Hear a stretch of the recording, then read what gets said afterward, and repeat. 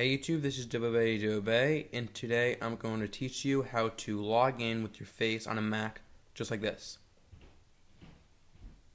I did not enter any password, you didn't see any password being entered, and it's really quick and simple. So first off, you're going to want to go to um, Google and type in Key Lemon. Click on the products link and then just scroll down to the bottom where it says download. So you click here, or you could just go back to Google at Key Lemon.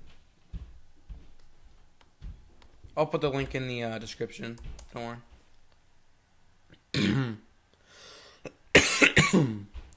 or you could just go right to the download.com link right there. Same link. Click just install and this I believe is uh, available for both Windows XP, Vista 7, and Mac OS, and I'm currently on a Mac. So I'm going to teach to install on a Mac, but it's going to be the same exact thing or close to it for Windows. So since um, it's just simple downloading, just clicking next, apply, um, entering password.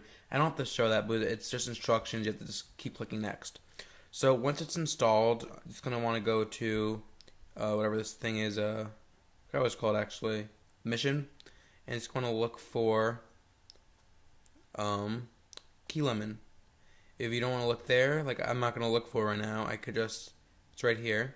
You could also just go in the search bar up here and type in key lemon. So give it a minute to open. It might ask you for a password, it might not. I put it uh, ask for password so no one could make only their face work and then I set up to update every ten days, check for updates every ten days, and I you want to ask. Um, oh, this is something I think you would want to do. Um, you want to make it so if you try editing the uh, like picture to allow in, it requires a password like I entered before, so no one could take your Mac once it's logged on and make it so only their face works. That would not be good. That's General tab. In the Webcam tab, you're gonna want to select your camera. Mine's the FaceTime um, profile. This is the picture that you, um, nothing's going to be there. It's going to ask you to set it up. So I'm just going to do improve, which would really just be like setting it up for you. So you're going to click next. It's going to show your camera. And you want to put your face in that uh, outline right there. So I'm going to click next. And just stand still. Then I'm going to click adapt to your face.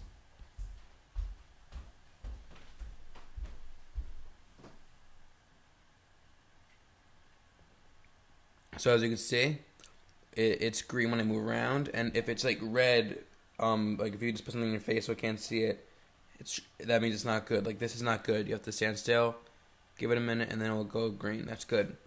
Click next, and you go to select which thumbnail you want, which one looks the best. That just it actually recorded. You took snapshots. So say that I like this one better. I'll just click finish, rename it. Mine's just gonna be named Daniel and then you're ready to go and to um and you're gonna see that there's now an icon up here which actually uh, allows you to lock the computer from there. It could allow you to adapt a new picture or actually open this program right here. Um, if you want to lock it um, you could just click that or you could close the laptop and it would still open up this program to lock it. So just so my uh, recording software doesn't close when I uh, close it I'll click lock now so I don't have to close my laptop so as you can see, it's locked right now. It says it's 316, my screensaver. All you do is just move your mouse. And then it's going to log me in that fast. I did not move my hands. I'll show you one more time with my hands up so you don't see him do anything. So my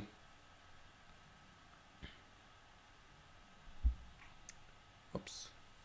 It went so fast it didn't even knock. I'm gonna move out of the picture because it recognized me before the program even opened. Okay, so I'm just gonna put my let it the camera turn on. I'm gonna put my hands up. I'm not typing anything, and I'm logged in just like that. It's that fast.